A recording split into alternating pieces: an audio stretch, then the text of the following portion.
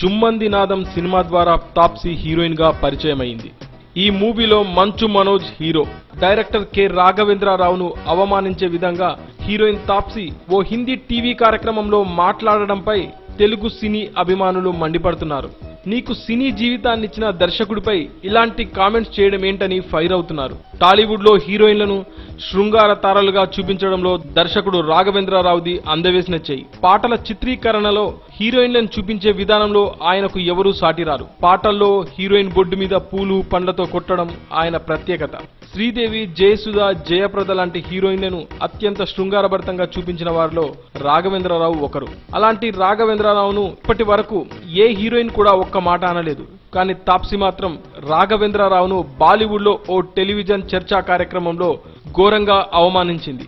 తన తొలి సినిమాలో దర్శకుడు బొడ్డుపై పూలు పండ్లు కొబ్బరికాయలు విసిరాడంటూ తాప్సీ హేళనంగా మాట్లాడింది.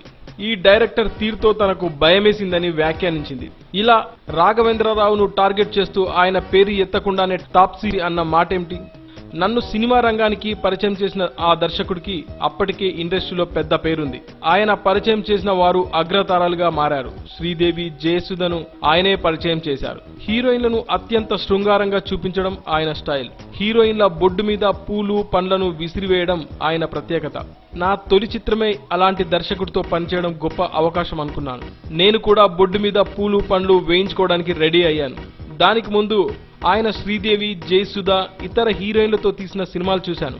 ఇక ఆ చిత్రంలో పూలతో కొట్టించుకోవచ్చనే అనుకున్నాను. నా వంతు వచ్చిందని సంతోషిస్తుండగానే ఆయన దేనితో కొట్టాడో చెప్తే మీరంతా షాక్ అవుతారు.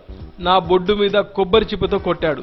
నా బొడ్డుపై కొబ్బరి చిప్పతో కొట్టడం ఏం శృంగారమో అర్థం కాలేదని చెప్పగానే ఆ కార్యక్రమంలో పాల్గొన్న ఆడియన్స్ పడి పడి నవ్వారు.